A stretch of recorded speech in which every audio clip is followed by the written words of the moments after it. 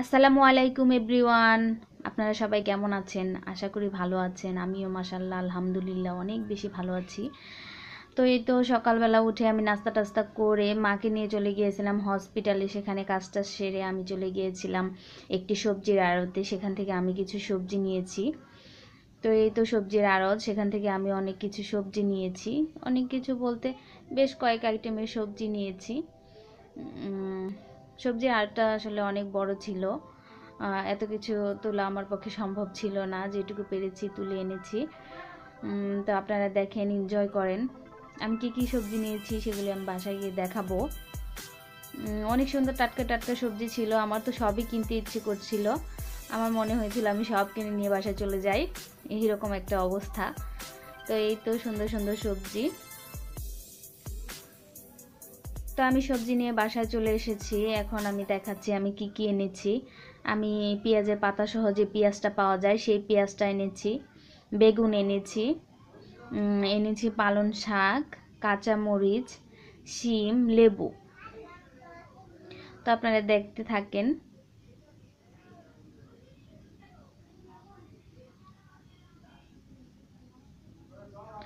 সবজিগুলি অনেক ফ্রেশ ছিল। যেহেতু আড়ত ছিল অনেক বেশি ফ্রেশ ছিল, আমার তো খুবই ভালো লাগছিল। তো এই তো মোটামুটি আমার সবজির কালেকশন বলা চলে। আমি এই সবজিগুলি এনেছি। তো আমি এখন রান্নার প্রসেসিংয়ে চলে যাব। আমি এখানে বেগুনগুলি চাকফালি করে নিয়েছি। এর মধ্যে হলুদ, মরিচ, লবণ নিয়ে, দিয়ে ভালো করে ম্যারিনেট করে আমি, এগুলো তেলে ভেজে নেব। তো তেলে ভেজে নিচ্ছি আর আপনাদের সাথে কথা বলছি। বেগুন ভাজা পছন্দ করে না, এমন মানুষ হয়তো নেই। সবাই কম বেশি বেগুন ভাজা পছন্দ করে। এক প্লেট গরম ভাতের সাথে বেগুন ভাজার তুলনা নেই, জুড়ি নেই। বাঙালিরা সবাই এর টেস্টের কথা জানেন। এটা আর বলার কিছু নেই। তো কে কীভাবে বেগুন ভাজা করেন আমি জানি না তো আমি যেভাবে বেগুন ভাজা করি সেটা দেখাচ্ছি। আমি হ্যাঁ, বেগুন ভেজেগুলো নামিয়ে নিচ্ছি। এর সাথে আমি আহ, পেঁয়াজ মরিচ অ্যাড করব। পেঁয়াজের যে পাতাটা ছিল, সেই পাতা আর অল্প কিছু পেঁয়াজ, কাঁচা মরিচ হলুদ মরিচ, লবণ দিয়ে একটু মেখে বেগুন ভাজার যে তেলটা ছিল, সেই তেলে আমি এগুলো ভেজে নিচ্ছি। এগুলোর সাথে আমি বেগুন অ্যাড করে দেব। তো অ্যাড করে দিলে পেঁয়াজ মরিচের যে ফ্লেভারটা সেগুলো বেগুনের সাথে অ্যাড হয়ে যাবে আর খেতে ভালো লাগবে। যারা খেয়েছেন তারা তো জানেন আর যারা খাননি, তারা কীভাবে বুঝবেন? তাদের অবশ্যই বাসা ট্রাই করতে হবে। ট্রাই করলে বুঝতে পারবেন এর টেস্টটা কতখানি। এক প্লেট ভাত অনায়াসে খেয়ে ফেলা যাবে। তো এই তো আমি চলে এসেছি পালং শাকের সেই অসাধারণ রেসিপিতে আমি চুলায় প্যান বসিয়ে দিয়েছি, সেখানে তেল গরম করে পেঁয়াজ দিয়ে দিলাম। দিয়ে দিব কাঁচা মরিচ।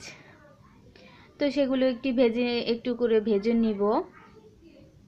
মোটামুটি বাদামি করে ভাজবো আমি। তো আমি এখানে পানি অ্যাড করে দেব। আমার ভাজাটা একটু বেশি হয়ে গেল। এই তো পানি অ্যাড করে দিলাম। এখন আমি গুঁড়ো মশলাগুলি যা যা লাগে তা দিয়ে দেব, বাটা মশলা দিয়ে দেব। আমি এখানে যেহেতু চিংড়ি মাছ ইউজ করব, সেজন্য আমি অল্প অল্প করে বাটা মশলাগুলি দিয়ে দেব। এখানে আমি রসুন বাটা, আদা বাটা, জিরে বাটা ধনিয়া বাটা অল্প অল্প করে দিয়েছি। হাফ চা চামচেরও কম দিয়েছি। তো দিয়ে আমি একটু নেড়ে চেড়ে সেখানে আমি হলুদের গুঁড়া, মরিচের গুঁড়া দিয়ে দেব। দিয়ে অল্প একটু কষাবো। কষিয়ে মাছগুলি আমি দিয়ে দেব। মাছের সাথে আবার মশলাটাও কষানো হয়ে যাবে।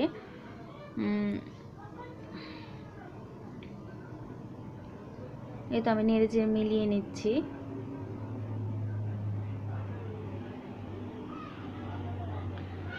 আমার মশলা অল্প করে কষানো হয়ে গেছে। আমি এখন মাছগুলিকে দিয়ে দেব।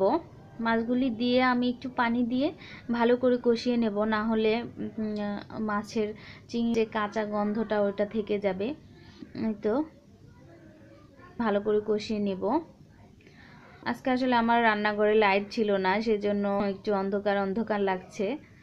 মোটামুটি আমার মশলাটা কষানো হয়ে গেছে। আমি এখন পালং শাকগুলি অ্যাড করে দেব।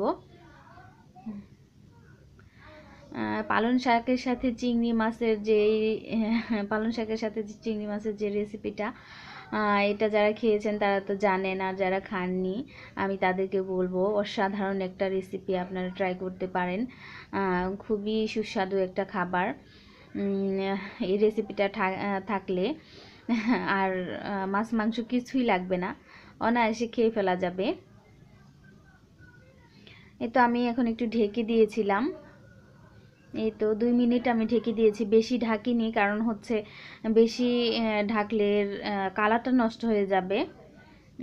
তো মোটামুটি সাত আট মিনিটের মতো কুক করে নিলেই এটা হয়ে যাবে।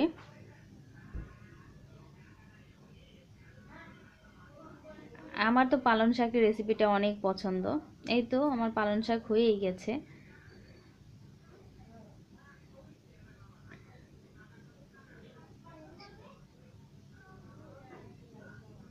এই তো আমার পালং শাকের ফাইনাল লুক খুবই সুন্দর হয়েছে কালারটা তো আমার আজকে দুপুরের মেনুতে ছিল পালন শাক দিয়ে চিংড়ি মাছ, করলা ভাজি, বেগুন ভাজা আর কালকের গরু মাংস ছিল সেটা আমি গরম করে নিয়েছি।